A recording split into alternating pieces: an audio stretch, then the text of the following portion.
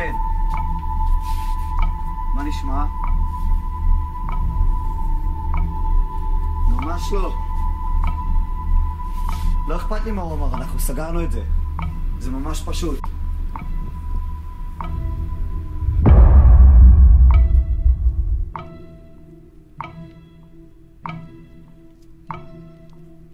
חכה שהוא לא יזוז. תחליט מתי לפעול.